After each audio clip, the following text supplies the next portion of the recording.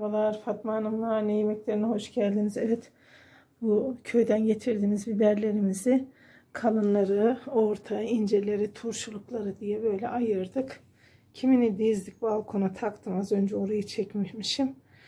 Bazılarını da derin dondurucuya nasıl koyacağız onları çekimini yapıyorum. Buradan güzelce aldım. Şöyle yıkıyorum çekirdeklerini çıkarıp çıkarıp. Taze olduğu için şöyle şunları aslında almaya bile gerek yok ama ben gene hafiften şöyle yapıp çok delmeden güzelce alıyorum bu çekirdeklerini. Gene şöyle bakın. Şöyle güzelce yemeklik olarak bunları dolaplara koyacağım. Poşetleyeceğiz ve kışın ihtiyacı olduğunda aslında o kadar taze ki köyden aldım bunları. Yani çekirdeklerini çıkarmaya bile gerek yok ama gene ben çıkarayım. Şöyle göstermiş olayım. Şöyle hafiften çok derin olmayacak şekilde yapıyorum. Gene çok derin olmayacak şekilde. Şöyle şimdi bunları yıkayacağım. Evet biraz şöyle bu çekirdekleri dökülmesi için yıkıyorum ve yıkadıktan sonra biraz da süzülmelerini bekliyorum. İçinde acı var galiba. Benzin gitti. Köy biberi doğal. Şöyle biraz süzüldükten sonra artık bunları da doğruyorum.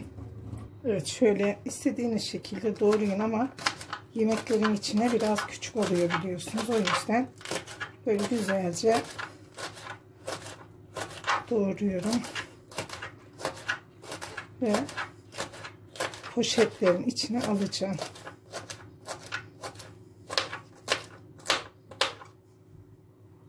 Evet şimdi poşetleyeceğiz. Şöyle güzelce poşetimizin içine katacağım.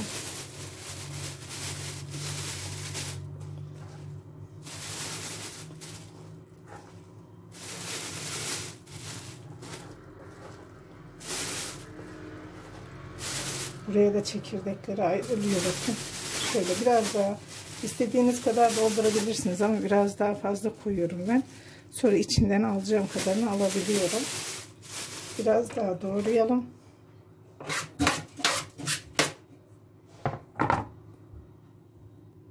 Ve yine şöyle istediğimiz şekilde doğradıktan sonra poşetliyoruz. Çekirdeklerini öyle gene dökülenleri ayırıyoruz. Ve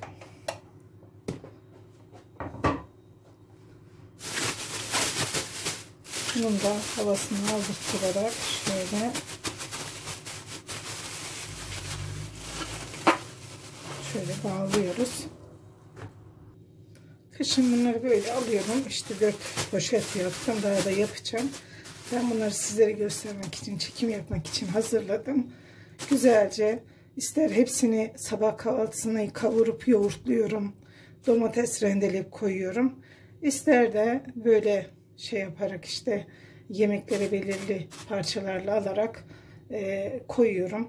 Daha az koyabilirsiniz ama ben bu kadar koyuyorum mesela. Birazını alıp yemeğe kullanacağım kadar alıyorum. Kalanını tekrar koyuyorum. Erimeden aldığım için sorun olmuyor. Şimdi birazını da böyle seçtim gene. Yıkadım güzelce. Bütün olarak koyacağım. Onu da ayrı çekmek istemedim. İster biraz şuradan alarak yapın ama ben genelde şuradan alıyorum. Şöyle ve şöyle. Bunları da koyuyorum. Hiç bölmüyorum. Kışın hemen çıkarıyorum direkt. Erimesini falan beklemeden e, kızartma yaptığımız yağa atıyorum ya da tava işte ne istiyorsanız oraya hemen çok güzel bir şekilde kızarıyorlar ve ister sarımsaklı yoğurtla ister dediğim gibi az önce domates sosu harika oluyor.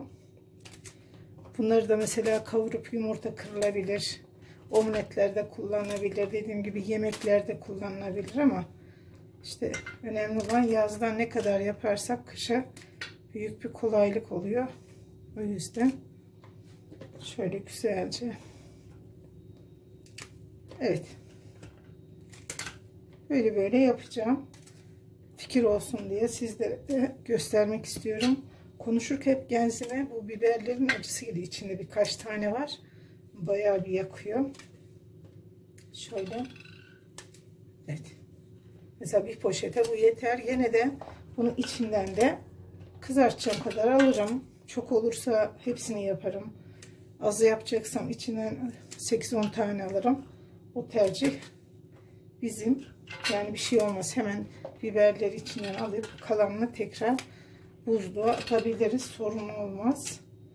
Şimdi bunları da poşetlere katayım. Baya e, birazını da e, dizdim. iplere dizdim koydum. Şöyle şöyle güzelce koyuyoruz. Yerleştiriyoruz. Yıkadım. Biraz süzüldü. Süzüldükten sonra isterseniz bir kağıt havluya silip de koyabilirsiniz. Ben ama zaten donacağı için hiç o tür şeye gerek yok. Şöyle güzelce ben şunu kenara alayım. Evet. Evet biraz güzel dizdikten sonra bunun da şöyle havasını aldırıyorum gene. Ve bunu da aynı şekilde bağlıyorum. Artık koymak istediğiniz kadar böyle yapıp koyabilirsiniz. Ben sizlere fikir olsun diye böyle göstermek istedim. Evet şimdi bunlar artık derin dondurucuya gidiyor. Şöyle inşallah hepimiz yapmayı ve yemeği nasip etsin diyorum. Sevgiyle kalın. Kanalımıza abone olmayı, beğeni, yorumlar yapmayı unutmayın.